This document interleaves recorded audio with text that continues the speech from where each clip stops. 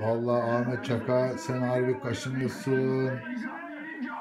Gülme komşunu gelir başına biliyorsun değil mi bunu bizim memlekette çok söylerler.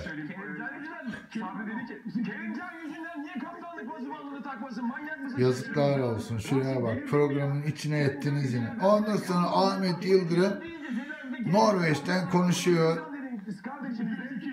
Yok neymiş Ahmet Yıldırım'ın adını. Bak adım Ahmet Yıldırım. Açın konsolosluğa telefon. Sorun kim olduğumu.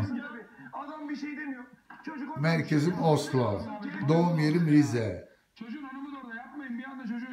Ya abi olabilir bir- öyle bir insan yanında bağırabilir ne var ya? Bak tek gerçekleri konuşan bu adam. Bizim kardeşlerimiz. Bir de bizim Abdullah ara sıra. Bu işleri nasıl yapıyor?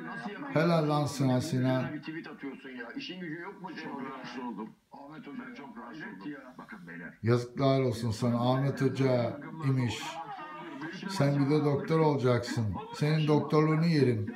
Kaşınmayla bile kötü. Soyadı enteresan ya. Ne enteresan soyadı. Sen